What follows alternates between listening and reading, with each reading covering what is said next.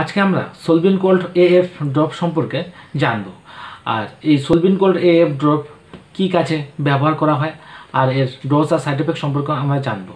আর এই ওষুধ সম্পর্কে ভালোভাবে জানতে ভিডিওটিকে প্রথম থেকে শেষ পর্যন্ত অবশ্যই দেখবেন। যদি ভালো লাগে তাহলে চ্যানেলটিকে সাবস্ক্রাইব করবেন, আর তার সঙ্গে নোটিফিকেশন বেলটি অন রাখবেন যাতে নতুন নতুন ভিডিওর আপডেটগুলি আপনারা খুব সহজেই দেখতে পান হ্যালো, কেমিস্ট অ্যান্ড ড্রাগিস্ট চ্যানেলের পক্ষ থেকে আমি ফার্মাসিস্ট অলোক। আর এই হচ্ছে সোলবিন কোল্ড এএফ ড্রপ। আমরা দেখব সোলবিন কোল্ড এএফ ড্রপটা দেখতে কেমন হয়।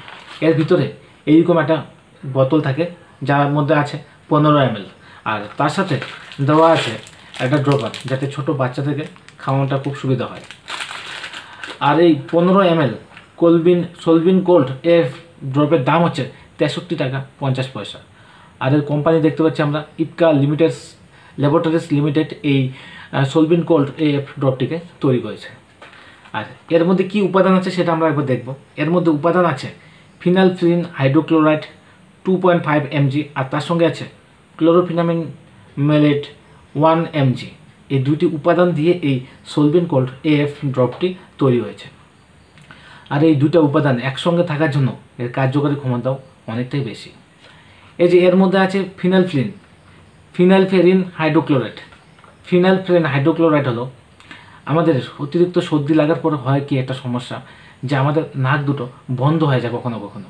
আর নাক বন্ধ হয়ে যাওয়ার ফলে হয় কি একটা অসুবিধা সর্দি লাগার পরে, আমাদের একটা শ্বাস নিতে কষ্ট হয়। তো সেই ক্ষেত্রে আমাদের করতে হয় কি, মুখ দিয়ে শ্বাস নিতে হয়। তো যেটা আমাদের কষ্ট হয়।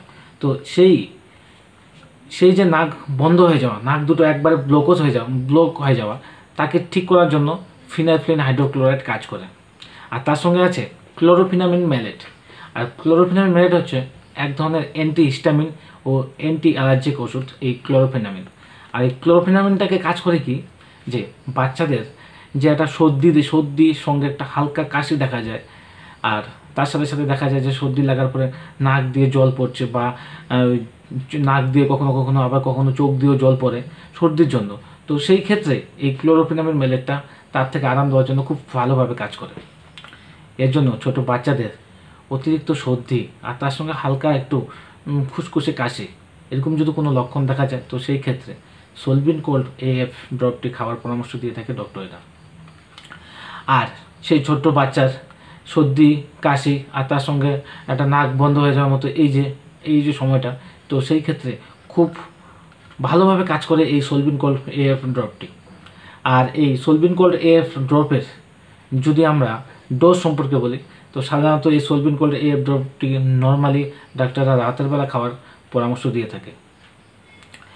আর তার সাথে সাথে যদি বলি, এই সোলবিন কল এফ ড্রপের কোনো সাইড এফেক্ট সম্পর্কে যদি আমরা বলি, সাধারণত এই ড্রপটি খাওয়ার পর তেমন কোনো সাইড এফেক্ট দেখা যায় না। তবুও যদি মনে হয় যে এই ড্রপটি বাচ্চাকে খাওয়ানোর পর খুব বেশি পাতলা পায়খানা করছে, তো সেই ক্ষেত্রে আপনারা অবশ্যই একদিন দেখতে পারেন। তো দেখার পর যদি মনে হয় যে একটু বেশি হচ্ছে, তো সেই ক্ষেত্রে এই ওষুধটি বন্ধ করে ডক্টরের সঙ্গে পরামর্শ নিতে পারে এটাই ছিল এই Solbin cold A F drop সম্পর্কে আজকে আলোচনা।